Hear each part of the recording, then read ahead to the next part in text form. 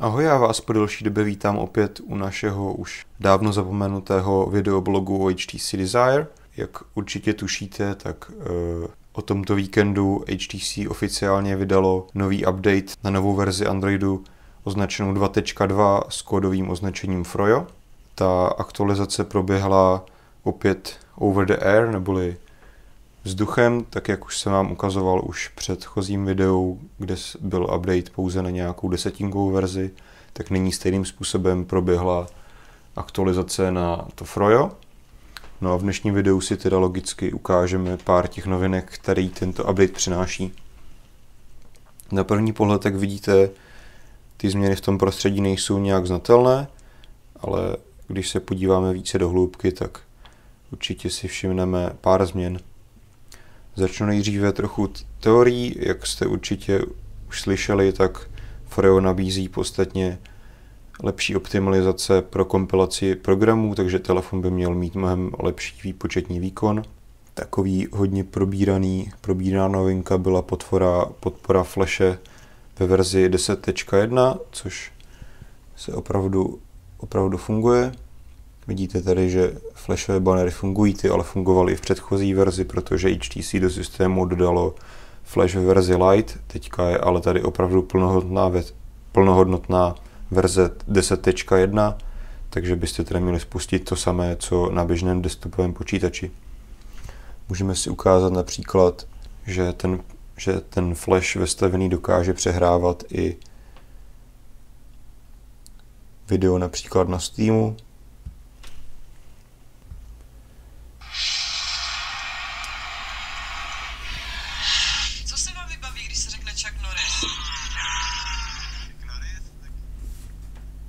Vidíte, že to video je plynulé. Dokonce si tady můžeme zkusit přepnout, pokud se na to trefím.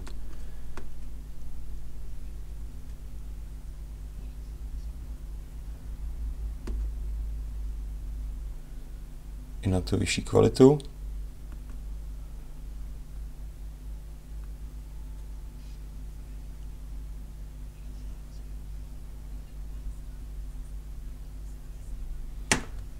Vidíte, že už telefon nezvládá tak plynule přehrávat, ale samozřejmě nic vám nebrání v tom jít sledovat videa na YouTube, který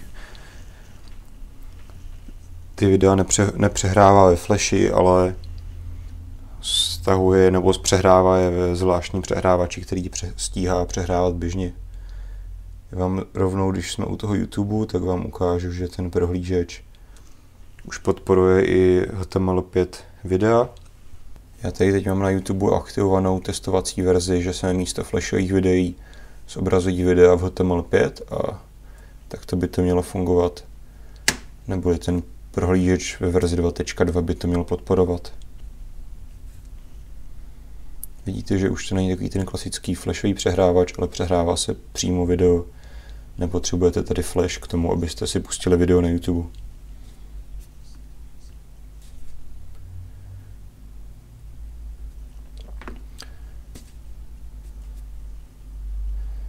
tak poznáte to tady podle toho HTML5 na grafice toho přehrávače. Když už jsme u možností toho prohlížeče, tak ještě určitě připomenu, že ten integrovaný prohlížeč v této verzi měl přenášet možnosti zobrazovacího jádra V8 z desktopového prohlížeče Chrome.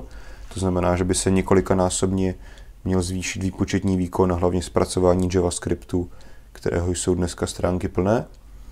No a já vám ukážu ještě další věc, eh, a to možnost uploadovat soubory, což v předchozích verzí Androidu v prohlížeči nešlo.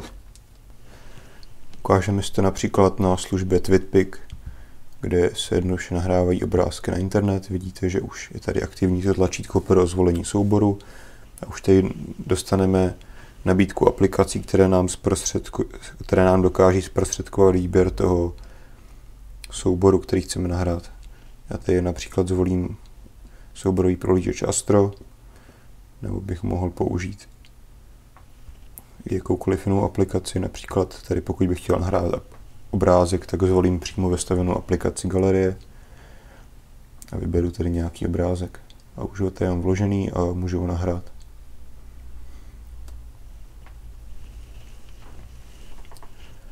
Další, myslím, velice očekávanou novinkou této verze je možnost přesouvat aplikace na paměťovou kartu.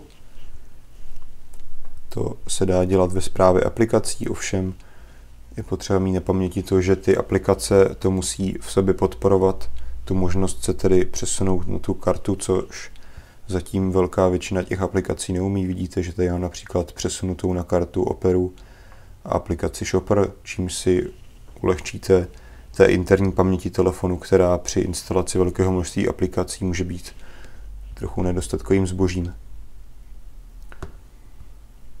Teďka nevím, jestli se mi podaří narazit na nějakou aplikaci, která bude přesunout, ale ukážu vám to tady. Kliknete si na aplikaci a dáte přesunout do telefonu, případně zpět přesunout na SD kartu. Když už jsme u těch aplikací, tak vám ukážu i malé novinky v Android Marketu.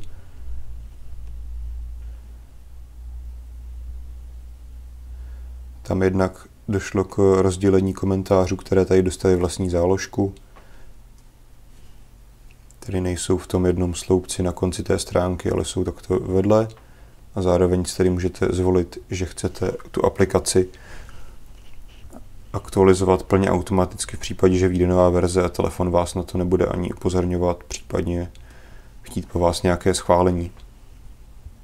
Když se podíváme na novinky, které jsou více od HTC, tedy sem přibylo několik nových aplikací.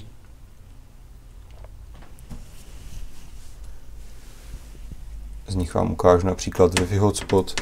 Tuto funkcionalitu sice umí i ten, dejme tomu, holý Android verzi 2.2, ale HTC k tomu udělal vlastní aplikaci. Jedná se o to, že můžete přes Wi-Fi sdílet vaše připojení k internetu, neboli uděláte z vašeho mobilu Wi-Fi hotspot. Tady si nastavíte název té sítě, zvolíte zabezpečení, zastavíte heslo a zapneme to. Potom už můžete vzít například notebook nebo jiné Wi-Fi zařízení a zkusit se na ten telefon připojit. Já tady mám Galaxy S, přes který se zkusíme na to teďka připojit, jestli to bude fungovat. Vidíte, už nám tady naskočilo HTC Network, což tak jsem tu síť pojmenoval. Takže se zkusíme rychle připojit. Tady mám heslo 12390.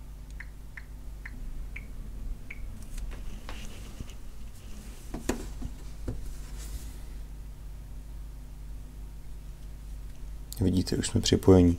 Tady máme i takovou tu zprávu uživatelů, nebo by mi teďka mělo ukázat, kde je připojen. Zobrazuje se tady nějaké ID toho zařízení a po kliknutí na to se mi ukáže i MAC a i IP, IP adresa. Další vylepšení se dočkala například i videokamera. Ta nyní zvládá natáčet video v HD Ready neboli 1280 na 720p. Eh, jenom připomínám, že předtím ten Desire uměl natáčet videa v 800 na 640. Navíc eh, teď tady přibylo možnost si zvolit nový kodek, do kterého video, nebo formát, do kterého video ukládat. A to je H264, který by měl být ještě kvalitnější než ten běžný MPEG 4. Přibyl nám tady i aplikace Voice Search, která je zatím v angličtině, zatím podporuje i pouze anglické příkazy, to znamená nerozumí češtině, ale je vidět zde aspoň nějaký pokrok. Nevím teda, jestli se někdy dočkáme podpory češtiny, ale aspoň tedy pro anglicky mluvící země už tu podporu máte i v HTC Desire.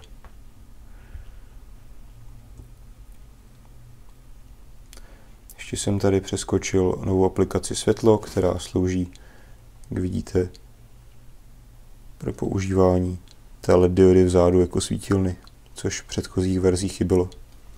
Když se ještě vrátím k těm novinkám, které souvisí se samotným updatem toho Froja, neboli e, do toho HTC nějak nezasahovalo, to je podpora určité přímé komunikace toho telefonu a serveru Google, neboli takových push zpráv. Možná pokud jste sledovali video s představováním Androidu 2.2, tak jste si všimli té ukázky, kdy se z doplňku z prohlížeče Chrome například od Google dalo jednoduše jedním kliknutím poslat odkaz přímo do telefonu, tak to vám nyní ukážu. Nyní kliknu na tlačítko v prohlížeči na počítači, který mám vedle.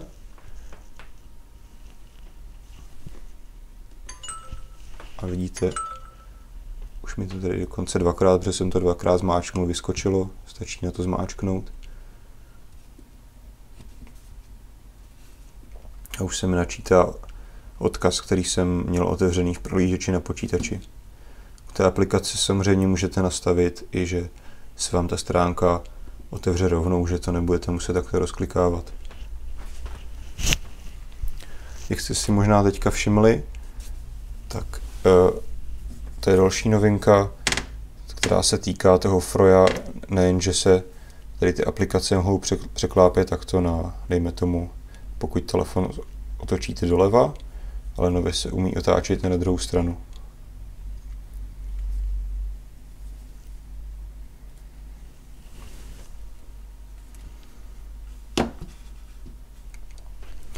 Těch drobných vylepšení samozřejmě mnoho. Já jenom ještě zmíním, že i ten subjektivní pocit z rychlosti ovládání toho telefonu se trochu zlepšil. Každopádně, pokud jste ještě neupdateovali na verzi 2.2, tak vám to maximálně doporučuji, protože žádné problémy se stabilitou se nezaznamenal a těch výhod, která nová verze přináší opravdu mnoho. Nejsou to žádné zásadní věci, ale jsou to věci, které velice pěkně zase vylepšují a posunují nám ten zážitek z používání toho telefonu. Já vám pro tuto chvíli děkuji za pozornost a těším se možná někdy zase u dalšího videa z naší série videoblogů o HTC Desire.